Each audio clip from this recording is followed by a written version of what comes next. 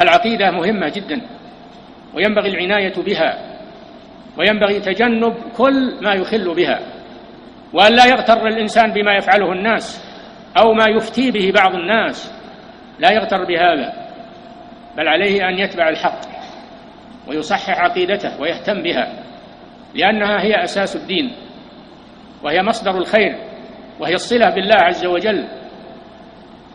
فالله جل وعلا أمر أن لا يدعى إلا هو. أمر أن لا يطاع إلا هو سبحانه وتعالى. أمر أن لا يذبح إلا له.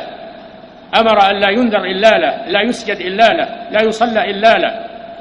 لا تؤدى أي عبادة من أنواع العبادات إلا لله. قل إن صلاتي ونسكي ومحياي ومماتي لله رب العالمين.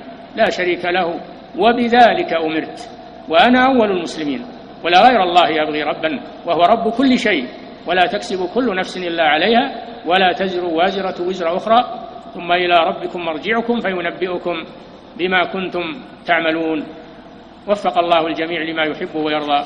صلى الله وسلم على نبينا محمد على آله وأصحابه أجمعين.